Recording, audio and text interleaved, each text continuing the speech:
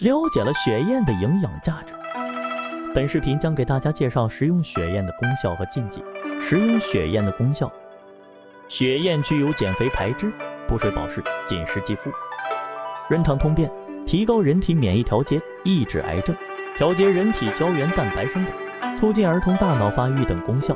食用血燕的禁忌：一，在吃血燕的时候要避免接触一些辛辣油腻性的食物。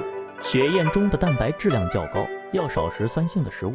两种食物不可以同时吃，否则就会引发消化道不适应的症状。二，在吃血燕的时候要避免喝茶。